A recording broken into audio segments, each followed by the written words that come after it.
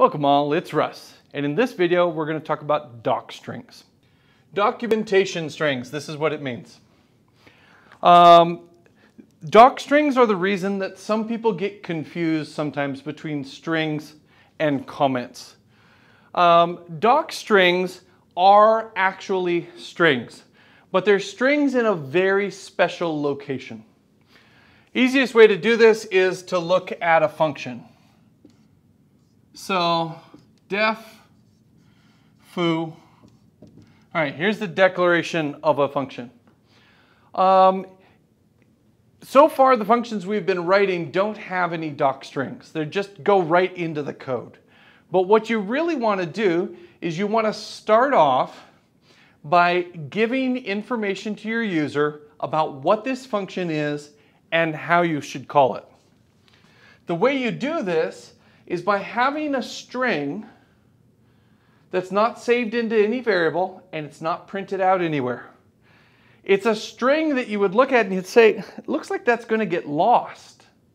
Well, it is, except that it's saved for documentation purposes. When people do doc strings, they often will use triple quotes so that they can have multiple lines. And let's take a look at what a doc string would look like. You can go to the style guide that's on the class website. And what it says is that for each function, give a doc string right after the def that has a brief summary of what the function does, what its arguments and return values, if any, are, um, any assumptions made, and so on. So let's actually create some parameters, x and y. So our first thing that we're going to do is we're going to have a description of what it does. International law.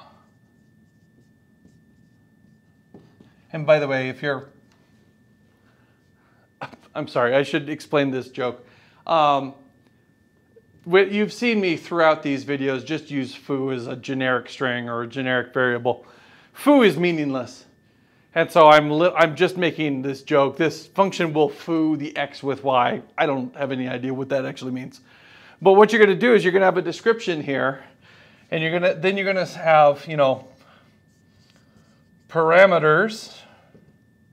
You're going to say x is the thing and y is how. And then you'll have triple quotes at the bottom to end. So why do we do all of this? Well, first of all, it's just a nice way of describing things, but this is not actually intended as a comment for someone who happens to be looking at the code. This is actually something that's automatically extracted by Python. When Python compiles your code, it will notice that the very first thing is a string, but that nothing was done with the string. It was going to be lost. And Python says, ah, this is the doc string for foo. So when it compiles foo, it actually saves this away. Now, you would never use this in ordinary usage, but if you happen to be um, playing around with this live, you can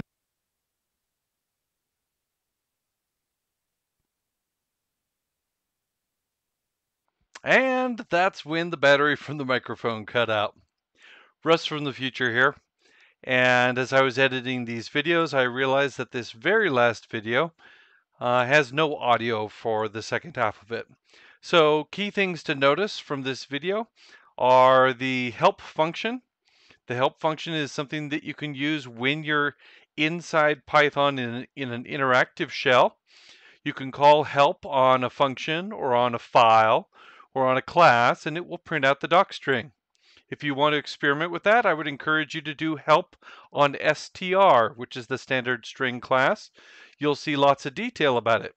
Or if you want to see help on individual methods, you could do help on str.split or other methods that you've seen. So uh, I'm going to cut out the rest of the video here because it's not going to make a lot of sense without audio. Um, but I hope you learned a lot and I'll be seeing you in class. Bye bye.